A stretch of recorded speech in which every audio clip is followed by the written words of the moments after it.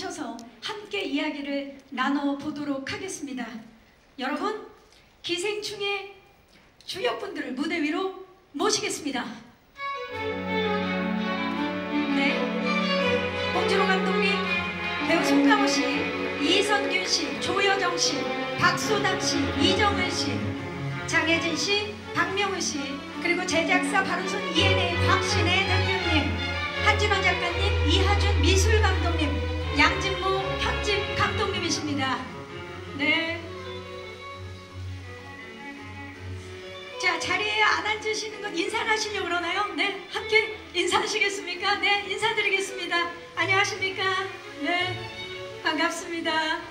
이제 자리에 착석해 주시기 바라겠습니다. 자, 오늘 정말 우리 기자님들을 위한 기자회견인데 기자회견에 앞서서 인사 말씀을 먼저 들어봐야 되겠죠? 자, 먼저 봉준호 감독님 정말 긴 시간 동안 놀라운 기록들의 연속이었습니다. 정말 감회가 남다르실 것 같은데 소감과 인사 말씀 좀 부탁드릴게요. 예, 아까 말씀하셨지만 이제 여기서 제작 발표에 한 지가 거의 1년이 되어 가려고 하네요. 그만큼 이제 영화가 긴 생명력을 가지고 세계 이것저것을 이제 다니다가 마침내 또 다시 여기 이렇게 오게 돼서 네. 되게 기쁘고 또 예, 이런 시간에 이렇게 많이들 와주셔서 되게 감사드립니다. 예. 어, 참 기분이 묘하네요. 예, 축하드립니다. 예, 감사합니다. 네. 자, 그리고 송강호 씨. 송강호 씨는 봉준호 감독님과 함께 긴 시간 동안 기생충 오스카 캠페인을 함께 하셨는데 느낌이 남다르실 것 같아요. 소감과 인사 말씀 부탁드립니다. 어, 뭐 처음 어, 겪어보는 과정이었고 그리고 봉준호 감독님하고 한 6개월 정도 된 것 같아요. 작년 8월부터 어, 오늘까지 참 어, 영광된 시간을 같이 어, 보냈던 것 같습니다. 어, 그래서 어, 또, 또 좋은 성과 어, 그리고 한국 영화 기생충이라는 영화를 통해 가지고 어, 미국뿐만이 아니라 전 세계 관객분들에게 어, 뛰어난 어떤 한국 영화의 어떤 모습을 선보이고 또 이렇게 돌아와서 여러분들께 인사드리게 돼서 너무너무 기쁘게 생각합니다. 네, 감사합니다. 자, 기생충의 제작사 바른손 ENA의 곽신혜 대표님 아카데미에서 무려 작품상을 쥐고 돌아오셨습니다. 소감과 인사 말씀 부탁드릴게요. 네, 안녕하세요. 박신혜라고 합니다. 어, 일단 성원해 주시고 응원해 주시고 축하 보내주셔서 너무 감사드리고요. 어, 작품상, 그러니까 처음 가가지고 무려 작품상까지 받아오게 되었는데요. 작품상은 어떤 한 개인이라기보다는 이 작품에 참여한 크레딧에 이름을 올린 모든 분들에게 같이 영광과 기쁨과 좋은 경력이 되는 상이라 그것으로 마무리하게 되어서 너무 기뻤습니다. 네, 감사합니다. 자, 다음으로 배우분들의 소감을 들어봐야 할 텐데요. 오늘 아쉽게도 최우식 씨가 영화 촬영 일정으로 함께하지 못했습니다. 네, 자 그러면 네, 양해 부탁드리고요. 우리 박명훈 씨부터 조현정 씨까지 한 말씀 씩 부탁드립니다. 박명훈 씨.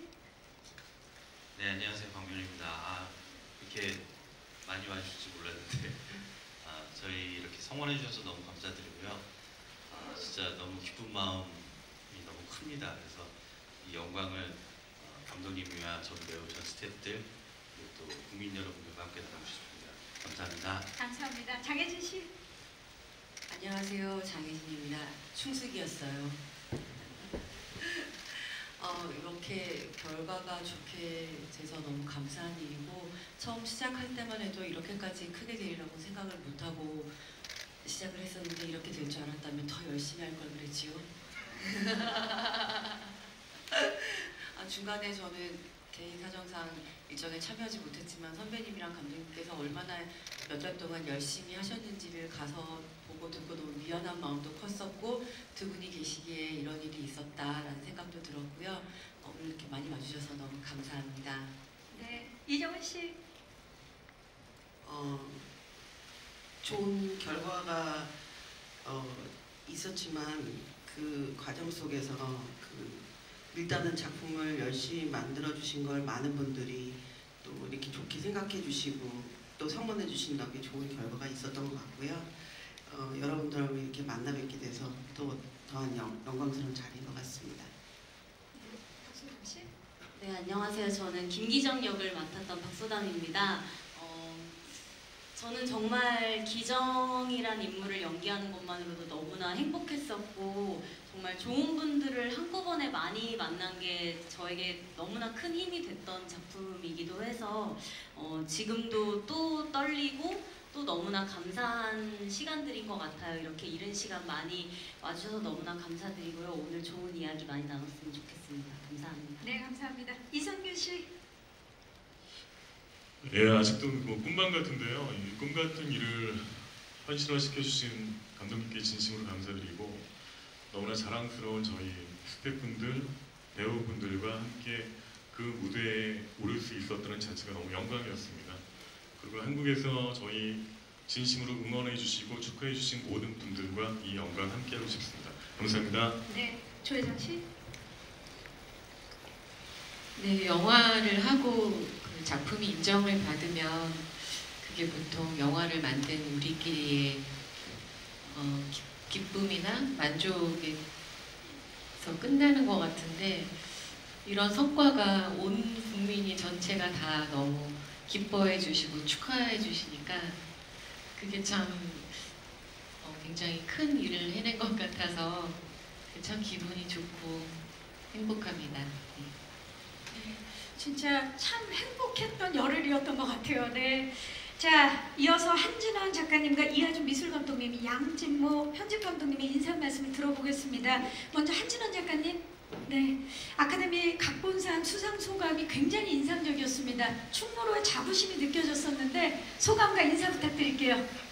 네 안녕하세요. 저는 예, 아 노디부시네요. 예, 한진원이라고 합니다. 어, 충무로 이야기를 그때 수상 소감에서 얘기했던 거는 제가 대학교 졸업한 이후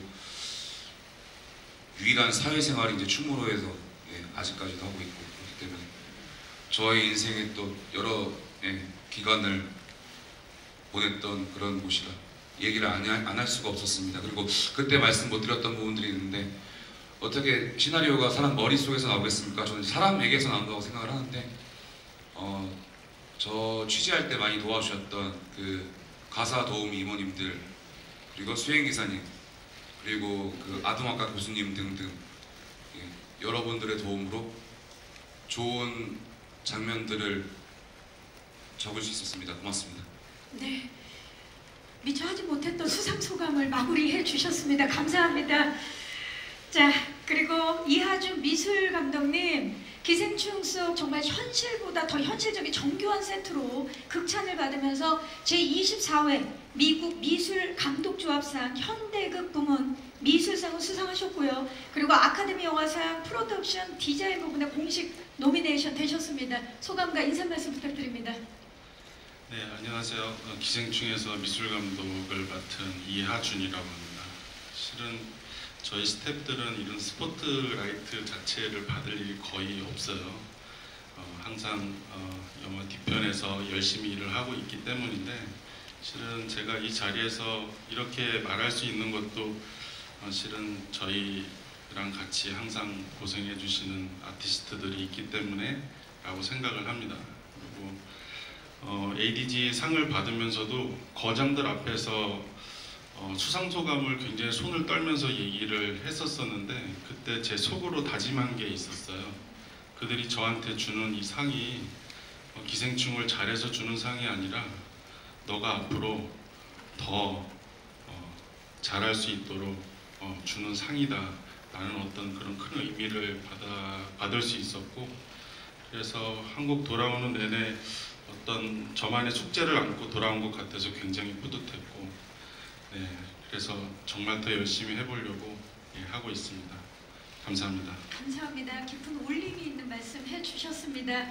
자 그리고 이분 무려 70년 역사상 외국어 영화로는 최초로 미국 영화 편집자 협회 장편 영화 드라마 부분 편집상을 수상하셨고요.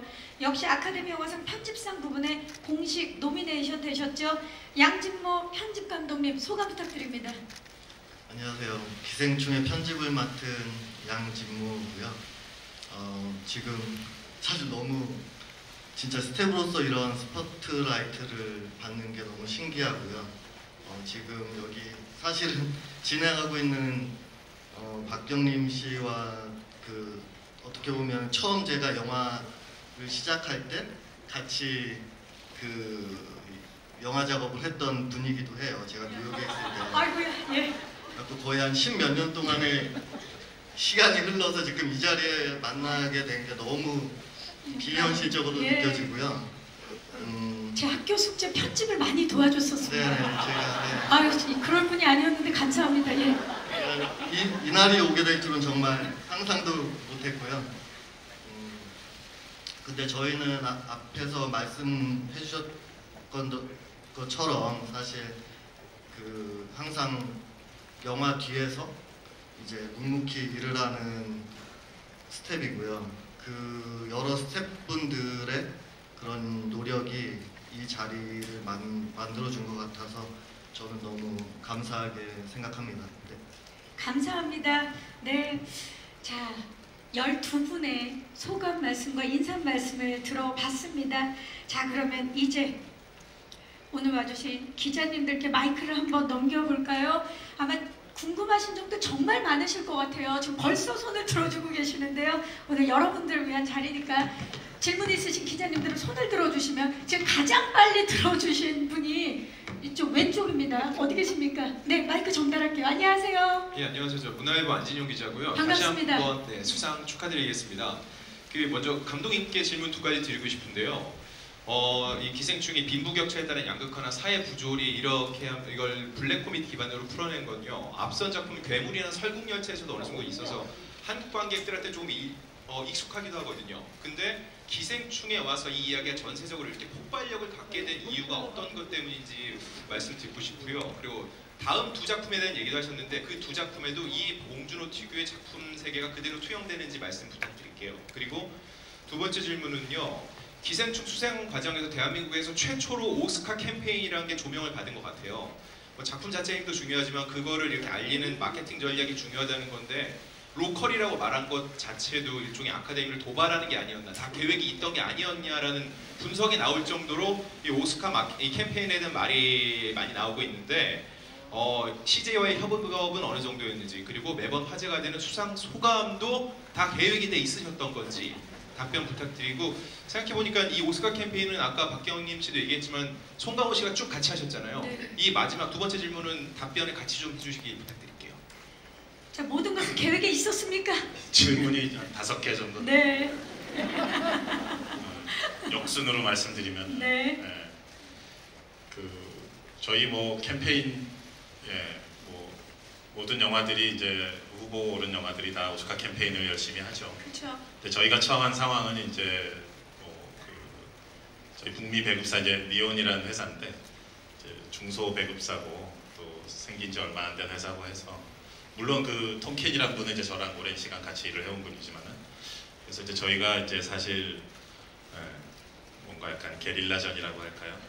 다른 뭐 거대 스튜디오들이나 그 뭐 넷플릭스나 이런 회사들에 비하면 훨씬 거기에 못 미치는 예산으로 대신 이제 예, 열정으로 저희는 뛰면서 예, 그 말인즉슨 예, 저와 이제 강호 선배님이 예, 코피를 흘릴 일들이 많았었다라는 그 것인데 뭐 실제로도 코피를 흘리신 적도 있으시지만 예, 그래서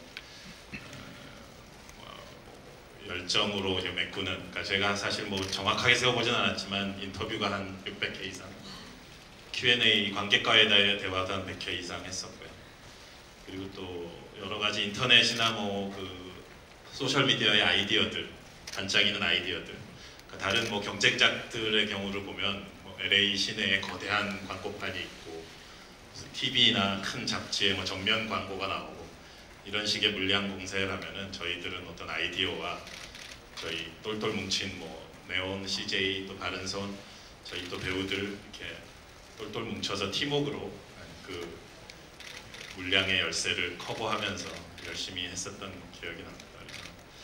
한때는 그런 생각도 했어요. 이게 왜 이게 저뿐 아니라 계속 이제 다른 뭐그 무슨 노아 바움백 감독이나 주변에 뭐 예, 토드 필립스 조커 감독님이나 타란티노 감독님 보면은 이 참 바쁜 창작자들이 잠시 창작의 일선에서 벗어나서 많은 시간을 들여서 이런 캠페인을 하고 스튜디오는 또 왜 이렇게 많은 또 예산을 쓰고 그게 좀 약간 낯설고 이상하게 보인 적도 있었는데 어, 반대로 생각해 보면 또 아, 이런 식으로 작품들을 되게 깊이 있게 밀도 있게 검증하는구나. 예, 어느 작품이 어떤 면이 뛰어났고 거기에 어떤 사람들이 참여했고 그들은 어떤 생각으로 이 영화를 만들었는지 되게 세밀하게 진지하게 그 점검해보는 과정 같은 거를 볼 수도 있겠더라고요. 그 5, 6개월의 과정들이 그렇게 해서 이제 마지막에 결국 그것이 이제 아카데미 오스카로서 이제 피날레를 장식하게 되는 것이니까 음, 오랜 전통을 가진 어떤 과정이었다라는 생각이 들고 예, 그 과정에 함께 하셨는데 이제 어떠셨는지. 음, 감독님께서는 좋은 말씀 다 잘해 주셨고 저는 이제 미국 처음 갈때 어, 좀 어떻게 보면은 처음 경험하는 어떤 과정이고 이러다 보니까 그냥 아무 생각 없이 갔다고 해도 어, 무방한데 한 6개월의 그 어, 어떤 그 최고의 어떤 예술가들과 같이 호흡하고 늘 보면서 얘기 나누고 또 작품도 보고 이 과정을 받다 보니까 미국에서도 제가 이런 소감을 얘기한 적이 있는데 참 어, 내가 아니라 그분들 그 타인들이 얼마나 위대한가를 점점 알아가는 과정이었지 않나. 그래서 어떤 상을 받기 위해서 이 과정을 받는다기보다는 어, 우리 작품을 통해 가지고 어, 그분들과 세계 영화인들과 어떻게 호흡하고 어, 어떤 공 어떤 공통점에 대한 어떤 소통과 어, 공감을 할 수 있나 어, 이런 생각들도 많이 가지고 참 많은 걸 느끼고 어, 배웠던 것 같습니다. 그래서 어, 참으로 어, 6개월이 지난 이 시점에서 참으로 제 자신이 작아지는 그런 느낌 어, 그만큼 어, 위대한 어떤 예술가들을 통해 가지고 많은 걸 느꼈던 그런 시간이었던 것 같습니다. 네. 네. 그리고 이제 그 로컬 얘기 물어보셨는데 네. 아니 제가 뭐 처음 캠페인 하는 와중에 무슨 뭐 도발씩이나 하겠어요. 그냥 그때 그냥 질문 내용이 예, 그 영화제 성격에 관한 얘기 나오다가 칸느, 베니스, 베를린은 이제 국제 international 영화제고 어, 아카데미는 아무래도 미국 중심 아니겠느냐 뭐 그런 거 비교하다가 그냥 쓱 나온 단어일 뿐인데 그게 어떤 미국 젊은 분들이 그걸 뭐 트위터에 많이 올렸나 봐요. 그게 어떻게 보면 근데 제가 뭐 그런 전략을 갖고 얘기한 그런 건 전혀 아니고 대화의 와중에 자연스럽게 나온 것이었고요. 또 그 처음에 하셨던 질문, 그 빈부격차를 다룬 뭐 이런 것들이 이번이 처음은 아닌데 왜 이번에 폭발력? 예. 괴물 때는 괴물이 이렇게 한강변을 뛰어다녔고 설국열차는 이제 미래의 기차가 나오는 둘 다 이렇게 사이파이, 그러니까 SF적 요소들이 많은데 이번 영화는 사실 그런 게 없잖아요. 그 되게 우리 동시대 얘기고 우리 이웃에서 볼 수 있을 법한 얘기들을 또 우리 한국 이제 우리 이렇게 뛰어난 또 앙상블의 배우들이 그걸 되게 실감나게 표현한 어, 어떻게 보면 이렇게 좀 우리 현실에 기반하고 있는 분위기의 어떤 톤의 영화이기 때문에 그것이 더 폭발력을 가지게 된 것이 아닐까라고 스스로 그냥 짐작만 해봤습니다.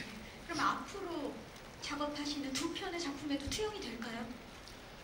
그 지금 준비하고 있는 두 편의 작품이 몇 년 전부터 준비하던 것이에요. 그래서 뭐 이 기생충이 뭐 어떤 반응을 얻고 어떤 결과가 있고 이런 거 사실 관련이 없고요. 그냥 평소 하던 대로 계속 준비하는 것이다 보니까 어, 사실 이 기생충이라는 영화도 저나 여기 뭐 배우분들이나 뭐 여기 제작사분들이나 다 평소 우리 해왔던 대로 그냥 평상심을 유지하면서 찍은 영화인데 오늘날 이런 예기치 못한 결과가 온 것이라서 뭔가를 어떤 목표를 정하고 이런 이 영화를 찍은 것이 아니거든요. 평소대로 우리 그냥 완성도 있는 영화를 한번 정성스레 만들어 보자라는 것으로 했었을 뿐이었고 그, 그 기조가 그냥 계속 유지가 된다고 보시면 될 것 같아요. 그래서 별 특별한 점은 없습니다. 뭐 접근 방식이 다르다거나.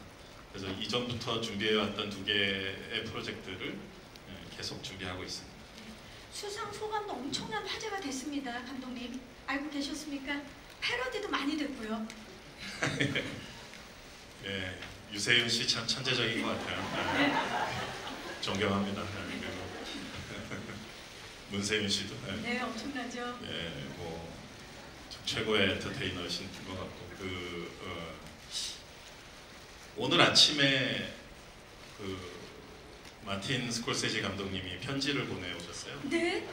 몇 시간 전에 그 편지를 읽었는데 되게 네, 저로서 영광이었고 저, 저한테 개인적으로 보내신 편지니까 그 내용을 뭐 말씀드리는 네. 건좀 실례인 것 같긴 하지만 어쨌든 그 마지막 문장에 그, 그동안 수고했고 이제 좀 쉬라고 네, 대신 조금만 쉬어라 네, 뭐 나도 그렇고 다들 차기작을 기다리니까 조금만 쉬고 빨리 일하라고 문자 아니 그 편지를 보내주셨어요. 그래서 되게 감사하고 기뻤습니다. 네, 최고의 응원을 받으셨네요. 자, 또 질문 있으신 기자님 손을 들어주시면 자, 지금 많이들 들어주셨는데 마이크가 오른쪽으로 가 있습니다. 기자님들 잠시만 기다려주세요. 안녕하세요. 마이크 받으셨나요? 네, 아시아경제신문 이종계 기자고요. 네. 감독님하고 배우분들한테 질문 드릴게요. 봉준호 감독님께서는 이번 수상으로 번아웃 증후군이나 적지 않은 부담에 직면하실 것 같은데요. 이를 어떻게 극복하실지 여쭤보고 싶고요. 함께 자리하신 배우분들께서는 어, 이미 복수 배우분들께서 해외에서 화보 촬영 외에도 작품 너브콜을 받으신 걸로 알고 있거든요. 혹시 헐리우드 진출을 계획하시거나 염두에 두고 계신지 궁금합니다. 네, 먼저 감독님. 네. 2017년 옥자 끝났을 때 이미 번아웃 판정을 받았었습니다. 그러나 이제 그냥 또이 기생충이 너무 찍고 싶어서 없는 기세를 그냥 영혼까지 긁어 모아서 작품 찍었고 촬영 기간보다 더 긴 오스카 캠페인도 다 소화를 했고요. 네, 오늘 이렇게 여러분들과 얘기를 하고 있으니까 이제 마침내 좀 마음도 편안해지면서 아 끝이 나는구나. 네. 옆에 그 곽 대표님하고도 이제 기생충 처음 얘기했던 게 2015년 네, 초에 거슬러 올라가자면 참 긴 세월인데 네. 행복한 마무리가 되는 것 같아서 기쁘고 네. 제가 뭐 노동을 정말 많이 하는 사람인 건 사실입니다. 네. 일을 많이 함- 했습니다. 네. 좀 쉬어볼까 생각도 좀 있, 있는데 스콜세지 감독님이 쉬지 말라고 하셔서 조금만 쉬라고 하셔서 예. 배우분들 네, 그래도 감독님 건강이 최고입니다. 건강 잘 챙기셔야 되고요. 예. 자, 우리 배우분들 해외에서 화보 촬영 후에 지금 반가운 소식들이 하나씩 들리고 있는데요. 혹시 계획에 대해서 좀 이정은 씨 마이크를 좀 잡아주시겠어요? 네. 아니 뭐 저는 해외 사실 기생충이 끝날 무렵에 제가 기생충 초반에는 감독님께 그런 얘기를 한 적이 있어요. 제가 인터뷰할 때마다 배우가 돼서 할리우드나 한번 가봐야 되지 않냐 이랬는데 영화를 찍고 세계에서 이렇게 각광을 받다 보니까 굳이 헐리우드를 안 가도 영화를 잘 찍으면 이렇게 세계가 알아주는데 라고 마음을 먹었는데 글쎄요 그런 기회가 온다면 근데 저는 화보는 안 찍었고요 뭐 그런 기회가 온다면 뭐 좀 생각해 보겠습니다 영어 인터뷰를 아주 훌륭히 소화해내시는 모습 많이 봤거든요. 영어 인터뷰. 아 그거 외느라고 너무 힘들었어요 아니 사실은 감독님 그 뭐 DGA라는 그 감독님 조합 상 받을 때 남아있는 배우가 일정상 저밖에 없었는데 그때 이제 보통 외국에서는 감독님을 이렇게 우리 디렉터스 컷처럼 이렇게 소개를 해드려야 돼요. 근데 제가 갈등을 했죠. 영어를 잘 못하는데 어떻게 할까. 근데 밤새워서 대사 외우듯이 연습하니까 또 괜찮더라고요. 앞으로도 기대하도록 하겠습니다. 감독님 괜찮으셨죠? 아, 멋졌어요. 또 어떤 분께서 말씀을 해주시겠어요? 박수담 씨? 예. 네, 저도 마침 이제 기생충 촬영이 끝나고 또 특송이란 작품 촬영이 마무리가 되고 딱 시간이 잘 맞아서 저도 함께 캠페인에 참여를 할 수가 있었고 또 마침 너무나 좋은 연락들을 주셔서 어, 너무나 재미있게 또 색다른 화보들을 찍고 왔던 것 같고요. 어, 기생충이 많은 사랑을 받은 만큼 또 많은 관심과 사랑을 주시는 것 같아서 정말 기회가 된다면 아직 살아갈 날들이 많기 때문에 뭐 언젠가 한 번은 꼭 도전을 해보고 싶은 마음은 있습니다. 송강호 씨 어떻습니까? 지금 헐리우드에서 러브콜이 많을 것 같은데요. 저는 헐리우드이 아니라 국내에서라도 지금 일이 좀 있었으면 좋겠어요. 제가 지금 예, 촬영 마지막 촬영 작년 1월 말이었어요. 아이고야. 지금 13개월째 아이고야. 예, 아무런 일이 지금 곧 헐리우드까지가- 시작하시잖아요, 저희. 네. 헐리우드이 아니라 아니 전화번호를 바꾸셨나요? 그래서 저는 국내에서라도 어, 좀 일이 들어왔으면 예, 좋겠다. 어, 송강호 충격 고백 일하고 싶어요. 예. 자, 좋습니다. 그러면 박 사장님과 연교 씨도 얘기 들어볼까요? 예, 저도 뭐 이렇게 특별히 큰 계획을 갖고 사는 사람이 아니어서 그냥 흘러가는 대로 좀 사는 편이어서 뭐 그런 계획은 없고요. 이번에 느낀 건 매년 연초마다 생각이 드는 거지만 영어 공부를 좀 해야겠다는 동기부여를 받고 왔고요. 어, 그 만약에 뭐 주어지는 기회가 있으면 많은 분들을 도전하셨으면 좋겠습니다. 네. 자, 조여정 씨.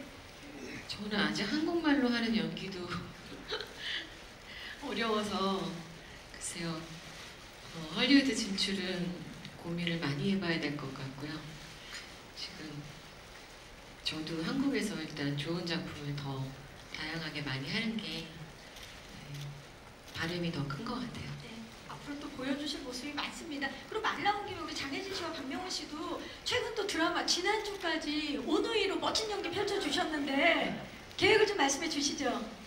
예, 저는 한국에서도 화보를 찍어본 적이 없기 때문에 일단 한국 화보부터 먼저 찍고 싶고요. 외국에서 만약에 제의가 온다면 Of course, why not? Wow! ready! 라고 얘기해주고 싶고 사실은 처음에는 정은 언니랑 얘기할 때 헐, 언니가 헐리우드 얘기하실 때 어휴 나는 한국에서라도 자리를 잡아야지 했는데 이번에 많은 것들을 보고 나서 아 할 수 있겠는데? 라는 생각이 들긴 했어요. 막상 할 수 있을지 없을지도 모르겠지만 마음이 좀 들긴 해서 이제 영어 공부 좀 시작해 보려고 합니다. 네, 우리 또 이성균 씨와 함께 영어 공부 화이팅입니다. Of course, why not? 그것만 외우신 것 같은데요 지금. 네, 우리 박명호 씨. 아, 저도 이번에 가서 영어의 중요성을 굉장히 어, 뼈저리게 느꼈습니다. 잘 알아듣지도 못하고 얘기도 못해서 그래서 뭐 어, 저는 뭐 화보나 뭐 이런 여러 가지들은 어, 조용히 모르게 숨어서 진행하고 있었고요. 그래서. 네, 별로 모르실 거예요. 예, 그래서 뭐 항상 늘 조용히 움직이고 있고요. 어, 헐리우드도 어, 한번 조용히 추진을 한번 해보려고 와. 노력 중입니다. 박명호 씨 영화 속에서도 조용히 아무도 모르게 계시더니 모든 일에 다 계획이 있으셨군요. 네, 그냥 아무도. 모르게 슥슥 움직이다가 사- 사- 살짝 살짝 나타나니까요. 네, 기대해 주십시오. 기대하겠습니다. 감사합니다. 또 질문 있으신 기자님 손을 들어주시면 돼. 자, 중앙 쪽으로 이번에 가보도록 하겠습니다. 기자님 잠시만요. 안녕하세요. 네 안녕하세요. 저 방송국 MBN 조이로 기자라고 합니다. 네. 어, 감독님께 질문이 있는데요. 일단 흑백판이 다음 주 정도에 이제 개봉하는 걸로 알고 있어요. 어떤 의도로 하신 건지 어, 언론에서도 얘기가 많이 나왔는데 어떤 의도인지 궁금하고요. 또 관객분들은 어떤 걸 좀 유의해서 봐주셨으면 좋겠다 하는 거 있으시면 말씀해 주시고 어, 또 오스카 수상 이후에 꿈 같은 시간 지나고 한국행 비행기에 오르셨는데 그때 생각 좀 정리들 많이 하셨을 텐데 어떤 생각 좀 하셨는지 궁금합니다. 마지막으로 박명훈 배우님은 캐릭터 때문에 국내에서 개봉했을 때도 이제 홍보 활동도 못 하신 걸로 알고 있어요. 그래서 아카데미에 가셨는데 반응이 어땠는지 말씀 부탁드리겠습니다. 네. 박명훈 씨부터. 네, 아카데미 갔을 때 반응은요.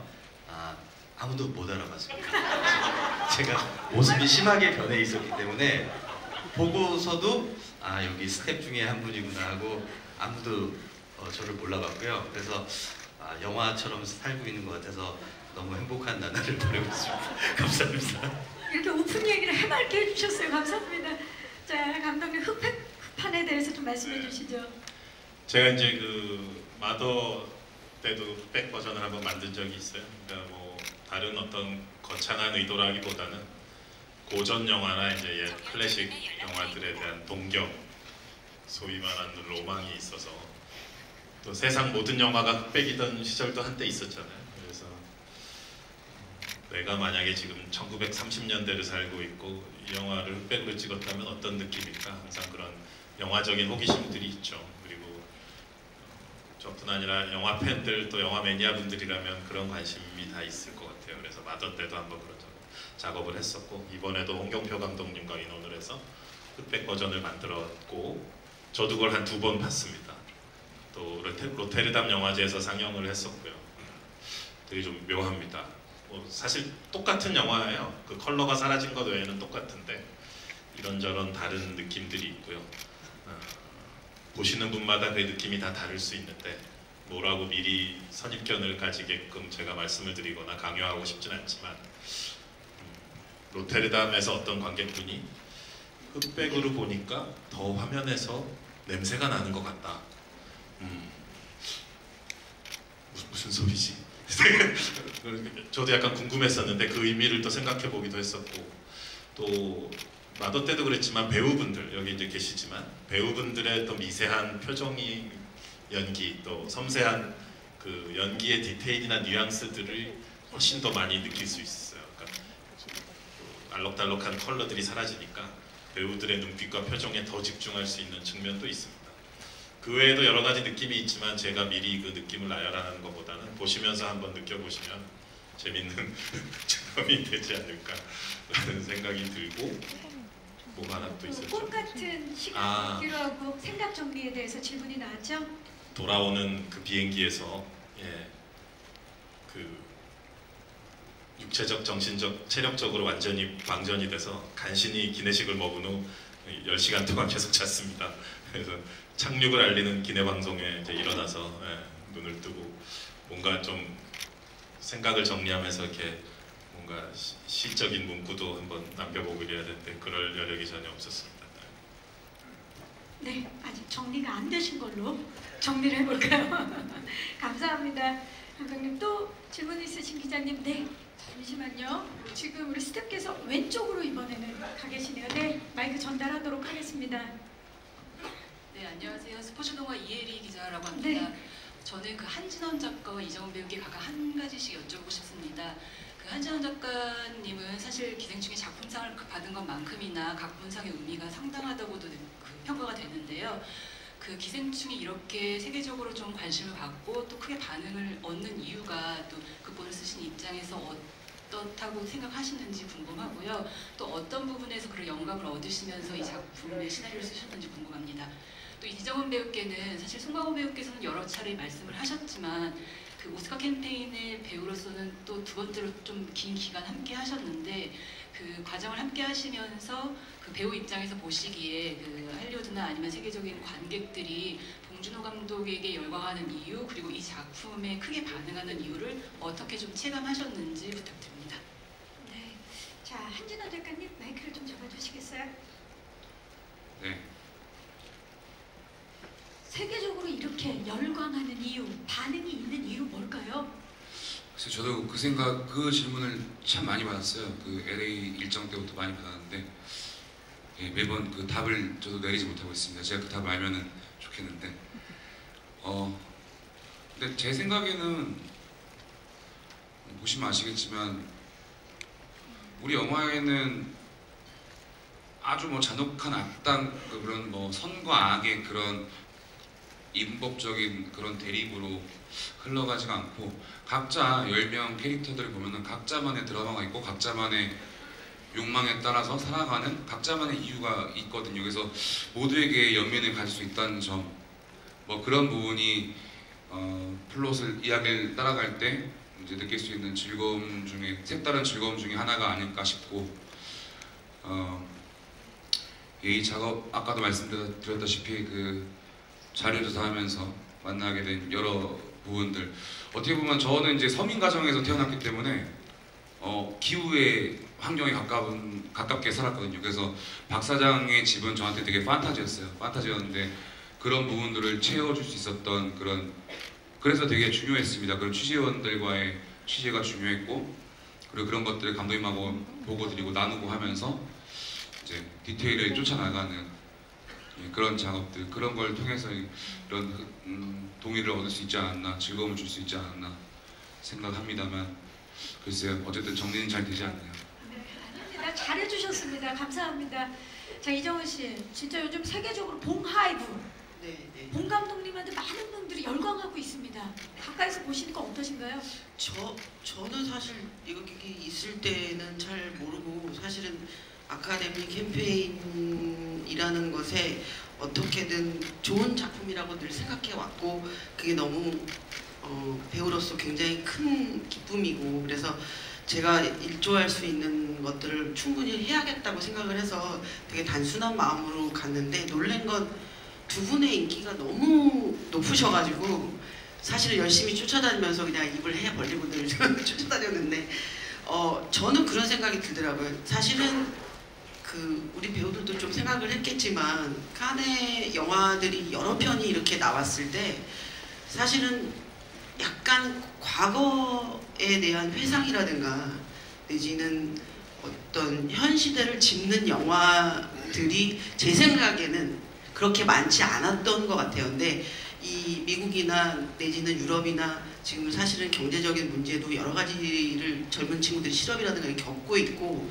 어떤 동시대적인 문제를 굉장히 재밌게 그렇지만 심도 있게 표현한 작품으로 사람들이 그 스토리가 어떻게 전개될지 모를 아까 말씀드렸던 것처럼 선과 악이 없는데 누군가는 누구한테 가해자가 되고 누군가한테는 피해를 입히고 이러한 관계들이 우리들의 인간 군상과 너무 흡사하기 때문에 그 점에 늘 놀래고 그 예상할 수 없는 스토리에 그리고 또 감독님이 더 인기가 있는 건 어, 사실은 어떻게 보면 아카데미 캠페인이 되게 이렇게 competition이 많은 경쟁적인 구도 같아 보이지만 그분들이 사실은 8월 때부터 계속 그 캠페인을 하면서 되게 동지적인 모습을 많이 보이셨는데 거기서 항상 유머를 잃지 않으셨던 것들이 그 소감에서도 늘 묻어나기 때문에 인기가 있으셨던 게 아닌가 그런 생각을 했습니다. 네, 감사합니다. 또 질문 있으신 기자님들 손을 들어주시면 네, 저희 스태프께서 저쪽 왼쪽 아, 뒤쪽으로 네, 안녕하세요. 브리지 경제 이승 기자입니다. 네. 네, 영화 잘 봤고요. 어, 저 이석윤 배우가 하셨던 말씀처럼 그 작품성만큼은 정말 선을 넘은 게 아닌가 싶을 정도로 정말 영화 기자가 된 이후로 아카데미를 열혈 시청했습니다.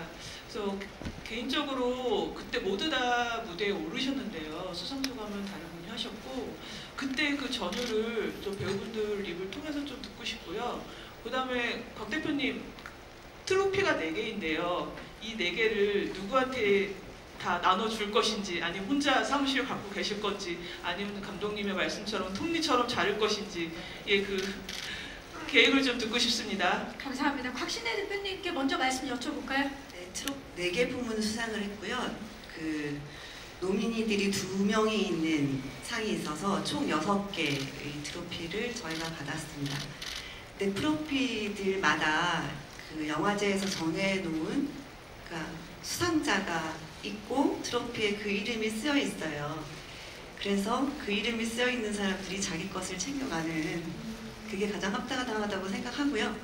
물론 어떤 기회나 좋은 취지 상황이 있을 때 그것을 어디서 보여드린다고 전시한다거나 뭐 이런 거는 고민을 할 수 있겠지만 일단은 네 주인들이 가져갔고요. 그래서 한준원 작가가 하나를 가지고 있고 그리고 본 감독님이 어, 노미네이션이 네 부분에 대해서 네개 상을 다 받으셨는데 그 굉장히 무거워요. 그래서 하나를 저한테 주시면서 이것은 사무실에서 보관해 달라 하셔가지고 그거 하나랑 그다음 제 이름이 적혀 있는 거 하나는 저희 사무실에서 보관하고 있습니다. 나머지는 감독님이 갖고 계십니다.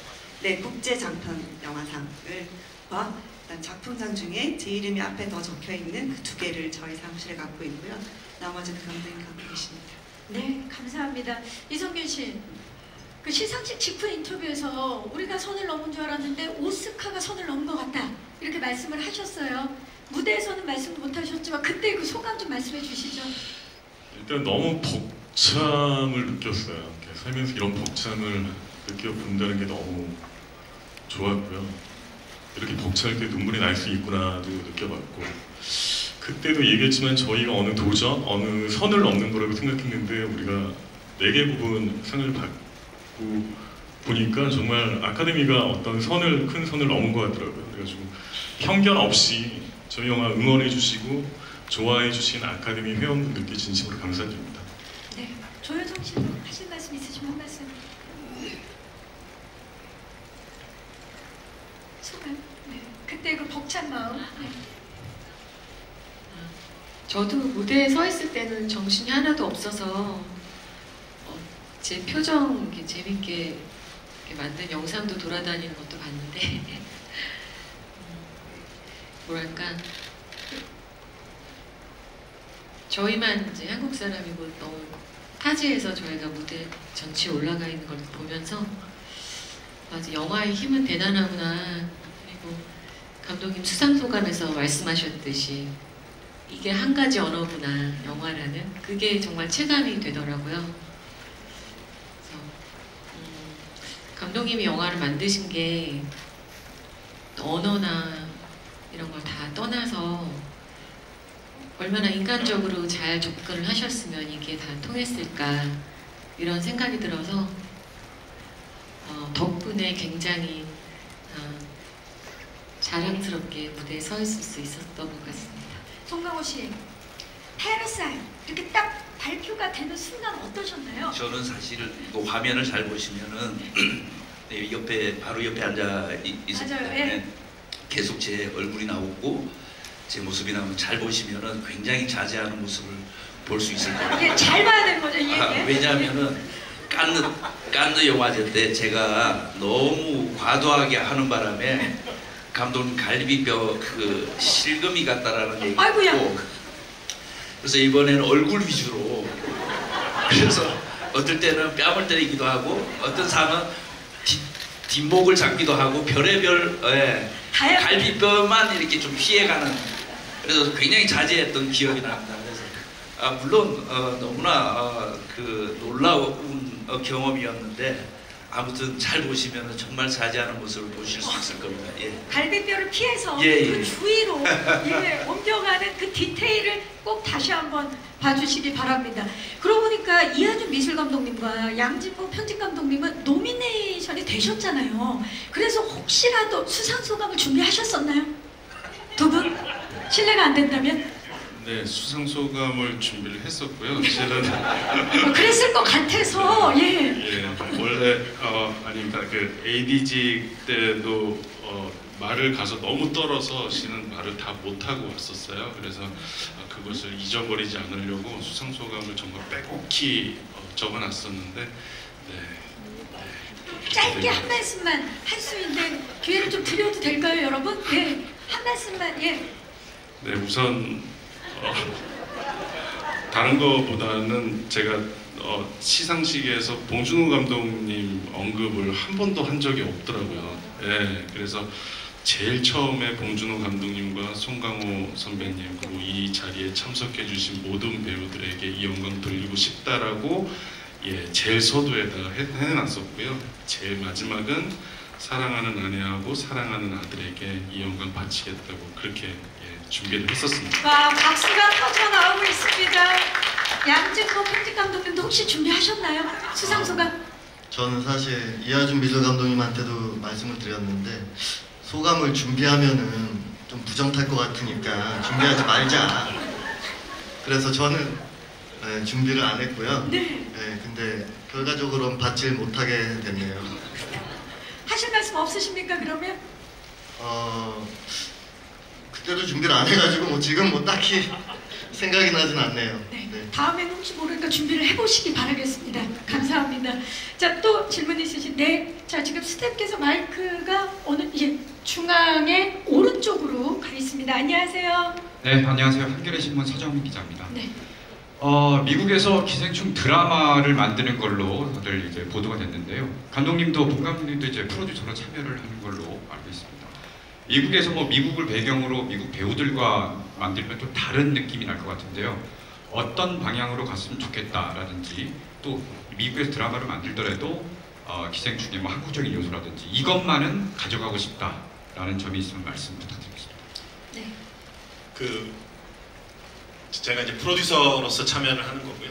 이제 연출하실 이제 구체적으로 에피소드를 연출하실 감독님들은 이제 이후에 차차 찾게 될 거고 이제 아담 맥케이라고 이제 그 빅쇼트랑 바이스 하신 감독님 그분이 이제 또 작가로서 같이 참여를 하시고요. 그분과 이제 몇 차례 만나서 얘기도 나눴었죠. 그래서 우리 그 기생충 애초에 갖고 있는 주제 의식, 우리 동시대의 어떤 빈부격차에 대한 얘기, 그거를 오리지널 영화와 마찬가지로 블랙 코미디와 또는 범죄 드라마의 형식처럼 더 깊고 더 깊게 한번 파고 들어가 보게 될 것 같습니다. 근데 이제 그 limited 시리즈라는 명칭을 쓰더라고요. 그러니까 이게 뭐 시즌 1, 2, 3, 4 이렇게 길게 가는 게 아니라 딱 그 HBO의 뭐 체르노빌 같은 시리즈처럼 다섯 내지 여섯 에피소드의 완성도 높은 그런 밀도의 그런 TV 시리즈를 만들려고 하고 있고요. 뭐 약간 너무 이른 기사로서 무슨 틸다 스윈튼 님과 마크 러팔로 배우분들에 대한 언급이 나왔는데 그건 뭐그 공식적인 사항은 전혀 아니고요. 지금 저랑 그 아담 맥케이 그 작가 겸 감독분과 어, 아주 초기에 얘기를 나누고 있는 그런 상황이에요. 이야기의 방향과 구조 같은 거를 이제 막 논의하고 있는 시작 단계라고 볼 수 있죠.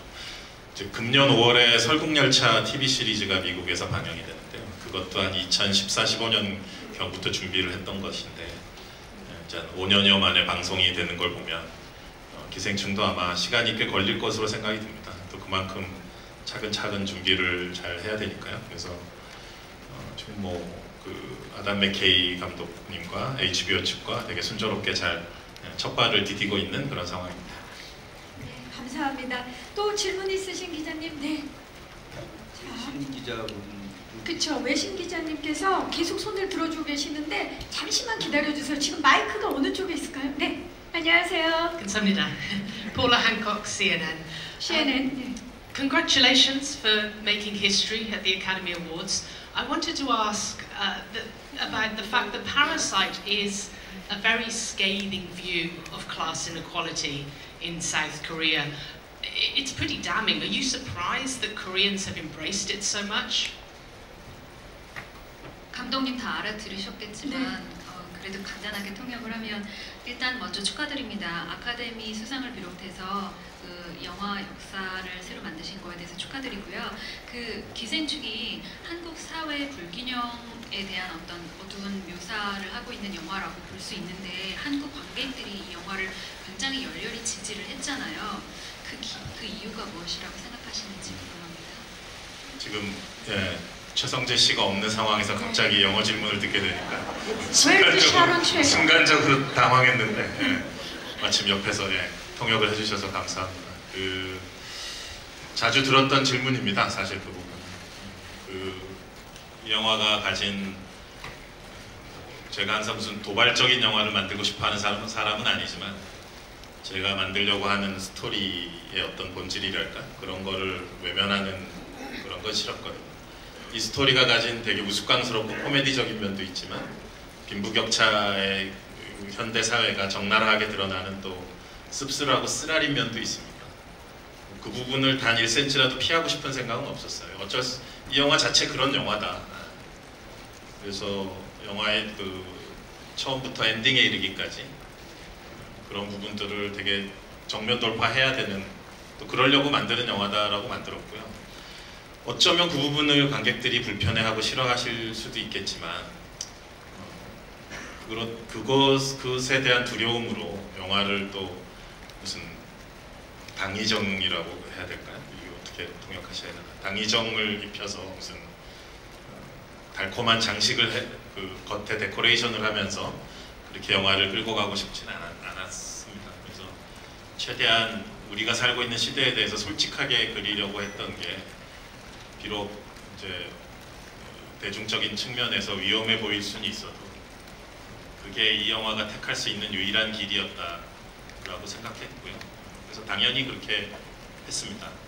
촬영할 때부터 편집을 할 때도 영화를 마무리할 때도 그런 생각이었고 근데 다행히 또 한국에서도 천만 명 이상의 관객분들이 호응을 해주셨고 그 한국뿐 아니라 전 세계적으로 뭐 프랑스나 베트남에서나 지금 뭐 일본, 영국에서나 오스카 뭐 그 효과 오스카 후광과 상관없이 저희가 오스카 노미네이션 되기 전에 이미 북미에서도 뭐 2,500만 불 이상 그 외국어 영화로서 역대급 기록을 써나가고 있었고 그 전에도 여러 나라에서 이미 호응을 받고 있었던 상황이어서요.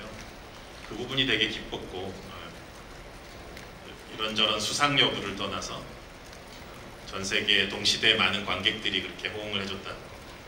그게 사실 저는 되짚어보면 가장 큰 의미고 기쁨이고 왜 그렇게들 호응을 여러 나라에서 다 관객들이 해줬는지에 대해서는 좀 시간적 거리를 두고 분석을 해봐야 될 것 같은데 그것이 저의 일은 저의 업무는 아닌 것 같아요. 저는 이미 다음 작품을 준비하고 있기 때문에 또 뚜벅뚜벅 그 길을 걸어 나가야 될 것 같고 지금 질문해 주신 기자분이나 또 많은 평론가분들이나 또는 관객 여러분들이 왜 그랬을까 왜 세계적인 호응을 얻은 걸까 오늘 아마 평가해 주시고 자리매김을 해 주실 것 같아요. 저는 빨리 다음 작품을 열심히 한 줄 한 줄 시나리오를 써나가는 게 늘 20년간 그래왔지만 그게 이 영화 산업을 위해서 제가 할 수 있는 최선의 일이라고 생각이 듭니다. 네, 감사합니다. 또 질문 있으신 기자님, 네. 자, 왼쪽 뒤쪽으로 가보도록 하겠습니다. 마이크 전달할게요. 안녕하세요. 예, 안녕하세요. 오마이뉴스 이선 기자입니다. 감독님께 두 가지 질문 드리겠는데요. 일단 이틀 전에 그 가칭 포스트 봉준호법이라고 영화인들이 이제 그런 영화법을 제안했어요. 영화계에다가 그래서 이런 산업 불균형 문제 등 제안했는데 아마 지금 감독님이 데뷔하려고 했으면은 플란다스에게 나오지 못했을 것이다라는 말도 나왔었고요. 그래서 이러한 것에 대한 생각이 궁금하고 또 두 번째는 뭐 최근 뭐 몇몇 정치권에서는 뭐 봉준호 생가를 보전하자, 뭐 방송을 만들자 이런 말들을 하고 있는데 여기에 대해서 어떻게 생각하실지 궁금합니다. 네, 감독님. 아, 저, 저도 기사를 봤는데 동상이랑 생가 예. 그냥 예, 그런 얘기는 제가 죽은 후에 해주셨으면 좋겠고 그, 예, 그냥 이 모든 것이 다 지나가리라 하는 마음으로 그런 기사들은 그냥 넘겼고요. 그걸 갖고 뭐 제가 예, 어떤 뭐 딱히 할 말이 그, 그 다음에 그 해외에서 그런 질문 많이 받습니다. 그 한국 영화 산업의 어떤 그 특유의 활기 또 이렇게 많은 좋은 작품들이 나오는 이유가 뭐고 또 어, 한국 영화 산업의 어떤 여러 가지 활력과 장점 반면에 또 우려되는 점은 무엇이냐 이런 질문 많이 받습니다. 그래서, 질문하셨던 것은 저도 프란다스에게 때 얘기를 많이 합니다. 요즘 젊은 신인 감독들이 프란다스에게 같은 시나리오를 가지고 왔을 때 또는 기생충과 글자 하나 다르지 않은 똑같은 시나리오를 들고 왔을 때 과연 투자를 받을 수 있고 영화가 이제 그 촬영에 들어갈 수 있을 것인가 라는 질문을 냉정하게 해봤을 때 그러니까 한국 산업이 그동안 제가 1999년에 데뷔를 20여 년간 이제 눈부신 발전이 있었고 그렇지만 동시에 또 어, 젊은 감독들이 뭔가 좀 이상한 작품, 뭔가 좀 모험적인 시도를 하기에는 뭔가 점점 더 어려워지는 경향. 그래서 재능 있는 친구들이 어, 산업으로 이렇게 흡수되기보다는 그냥 독립 영화를 만드는. 그래서 이 독립 영화와 산업의 어떤 뭐라 mainstream이라고 칭해야 될까요? 이것이 이렇게 좀 평행선을 이루는 그런 부분이 안타깝다 뭐 이런 얘기를 많이 했었습니다. 그러니까 말씀하신 그 2000년대 초 어, 플란다스의 개나 살인의 추억을 찍고 그랬던 당시에는 어, 서로 간에 좀 독립 영화와 이런 mainstream 또는 이런 쪽의 어떤 뭐랄까 상호 침투 내지는 좋은 의미에서의 그 다이나믹한 충돌 같은 것들이 있었던 것 같아요. 그런 부분의 활력을 되찾으려면 어떻게 해야 될까? 고민이 되는 지점인데 그래서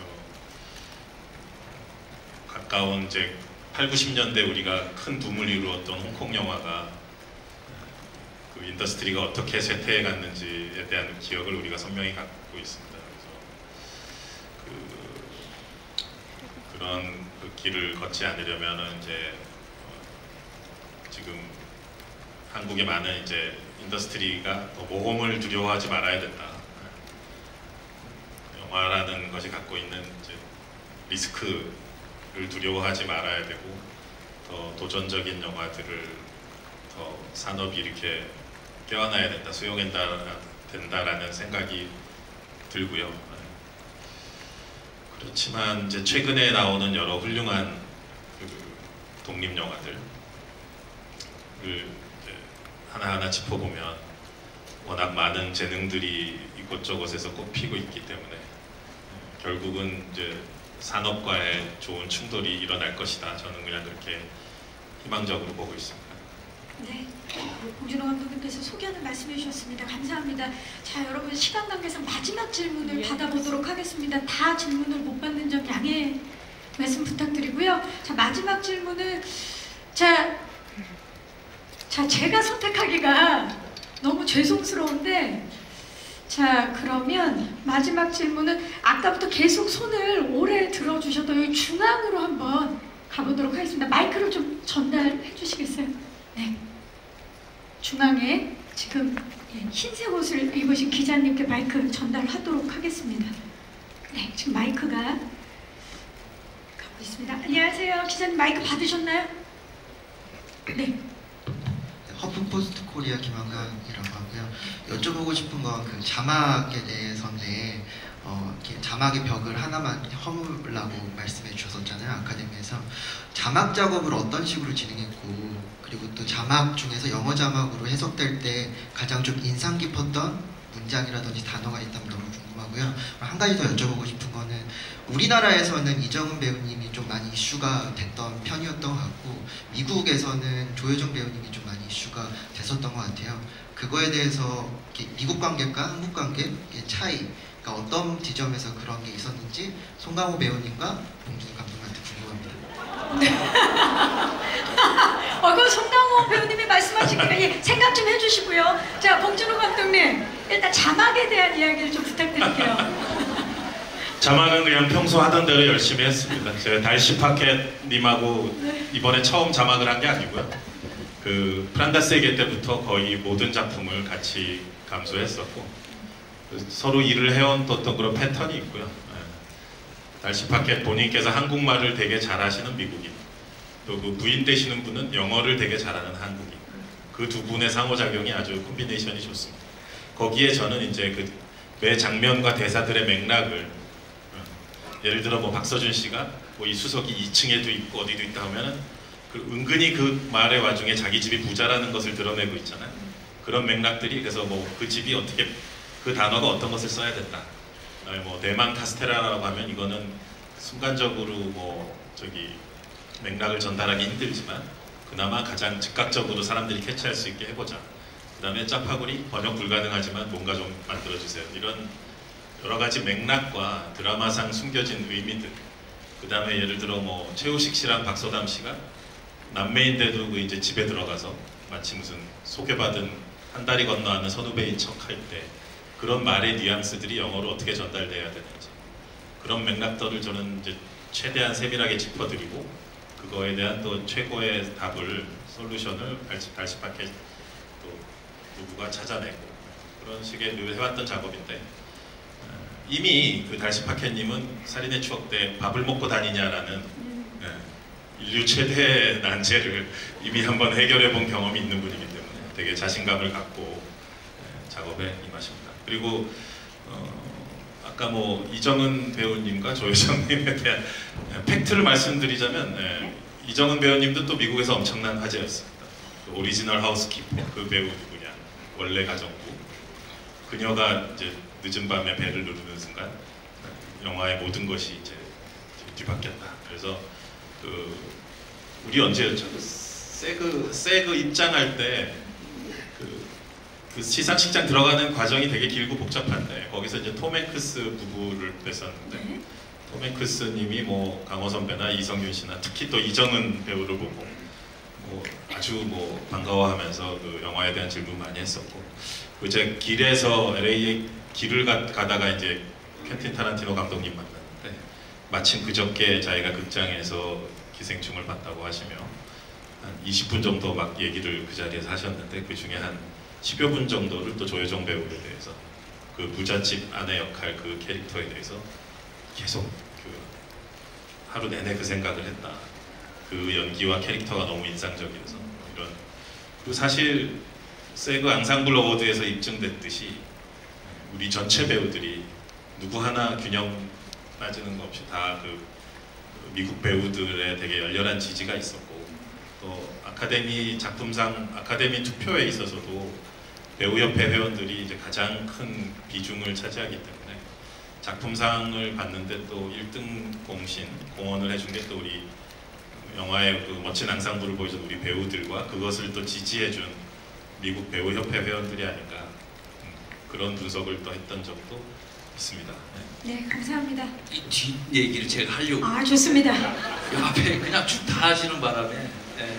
그래서 지금 개인적으로 봉준호 감독께서 어, 한 20년 됐죠. 20년 동안 그렇게 가장 기뻐하는 순간을 어, 목도한 게 글쎄 그 상을 배우들이 받았을 때 모습이 아니었나. 그래서 어, 저, 그게 저는 좀 신기했어요. 아, 이 사람이 이렇게 기뻐하는 모습도 처음 보는구나. 예, 예, 그런 또 추억이 있네요. 예, 그렇습니다. 네, 그야말로 미국 배우 조합상에서 앙상블상을 받았다는 건 우리 배우분들의 앙상블이 세계 최고였다라는 증거겠죠. 네, 다시 한번 축하의 말씀 드리면서 아쉽지만 이제 질의응답 기자회견을 마치고 끝인사를 드려봐야 될 것 같습니다. 우리 양진모 편집 감독님부터 끝인사 부탁드립니다. 어, 전 세계가 환호하는 이런 기생충이란 너무나 멋진 영화에 저를 참여시켜 주신 봉준호 감독님께 다시 한번 감사드리고요. 그리고 저는 이제 오늘로써 이제 기생충의 여정은 잘 마무리하고 이제 저의 본업인 편집으로 돌아가서 이제 좋은 영화로 다시 여러분과 함께 인사드리고 싶습니다. 감사합니다. 감사합니다. 이은희 미술 감독님. 어, 뭐 훌륭한 배우님들과 그리고 어, 감독님과 어, 오스카의 어떤 여정의 일부분을 함께 할 수 있어서 정말 큰 영광이었었고 이것을 계기로 본인도 느낀 것이 너무 많고 그런, 것, 그런 것들을 토대로 실은 어, 앞으로 영화를 만드는데 조금 더 신경 쓰고 어, 조금 더 열심히 해야겠다는 다짐을 가지고 저도 오늘을 끝으로 예, 저의 본업인 예, 미술 감독으로서 어, 다시 좋은 영화로 예, 여러분들 찾아뵙겠습니다. 감사합니다. 네, 조혜정 씨.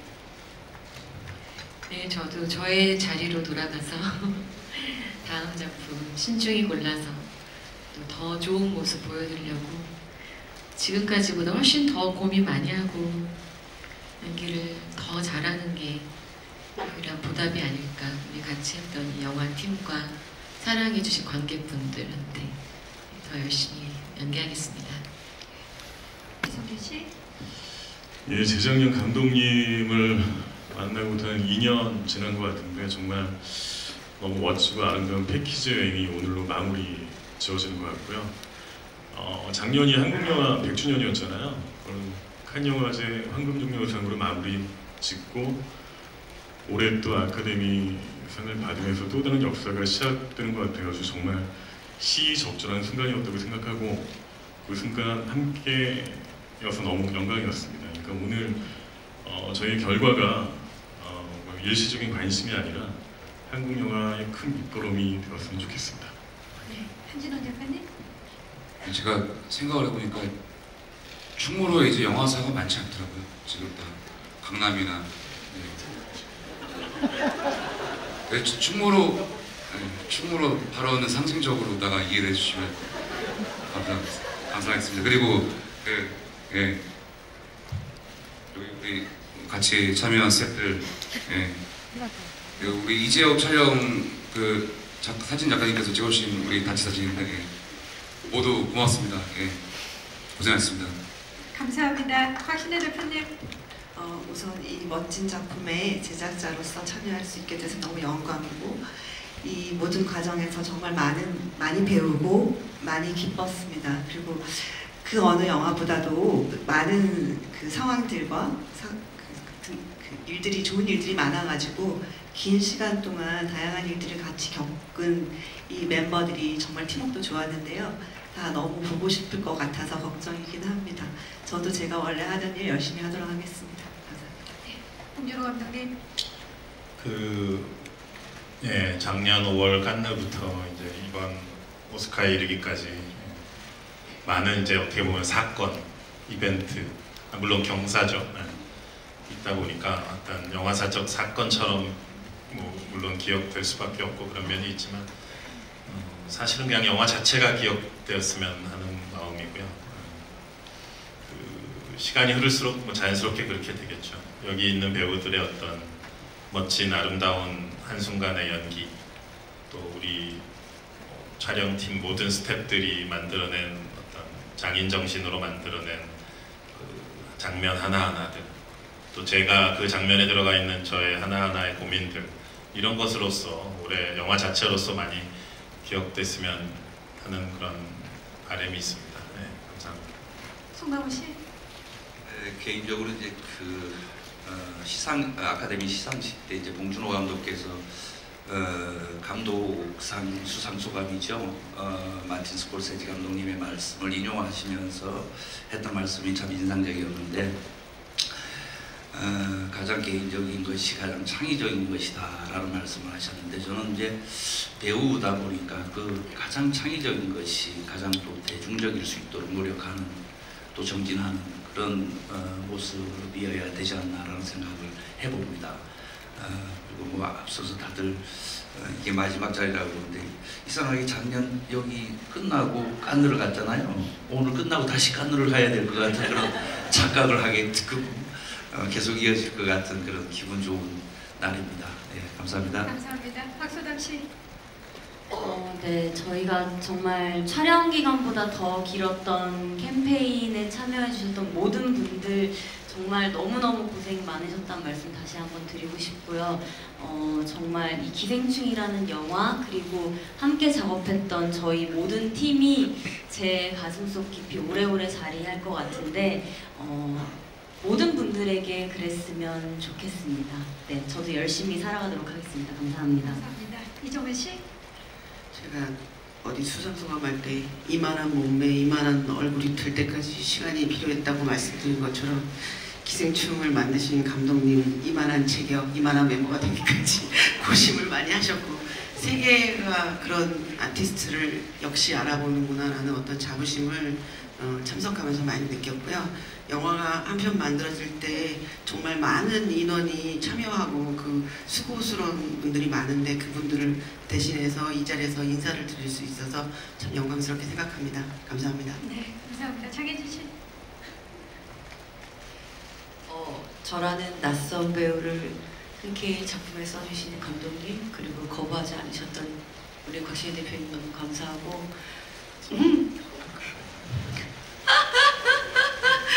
저 배우 하지 않아요라고 수도 있잖아 너무 감사하고 또 저라는 낯선 배우를 또 낯설지 않게 봐주신 관객 여러분께도 너무 감사하고 저한테는 너무 꿈같은 시간들이 흘러가서 이 마음을 어떻게 정리해야 될지 사실은 저도 잘 모르겠고 저는 가늘고 길게 가는 게 꿈이었는데 의도치 않게 이름이 조금 많은 분들이 알게 돼서 제 생각보다는 어떻게 해야 될지 사실은 저는 걱정이에요. 지금에 이렇게 예쁘게 앉아있긴 하지만 본연의 저는 이렇지 않기 때문에 오늘 이제 이 자리가 끝나고 나면 저는 다시 아줌마로서도 돌아갈 수도 있고 연기를 더 할 수 있을지 없을지도 아직은 잘 모르겠지만 여러분이 원하신다면 끝까지 할 계획도 있고 제가 무슨 말을 하고 있는 거죠? 너무 감사하다는 말씀을 하고 싶어서 이렇게 주저주저 하게 됐던 것 같아요. 이 마음이 정말 꿈 같은 일이 저한테 선물이라고 생각하고 선물은 한 번이면 족하니까 감사하게 받고 내일은 또 내일을 살겠습니다. 감사합니다. 감사합니다. 박명훈 씨. 네, 어, 한국 영화 100주년 때 딱 칸 황금 종려상을 받 정말 큰 선물을 받고 또 이제 또 다른 어, 100년을 여는 시대에 어, 아카데미상을 받게 돼서 너무나 큰 참여했던 배우로서 너무나 큰 영광이고요.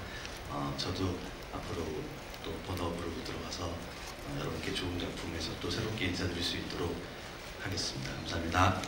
네, 감사합니다.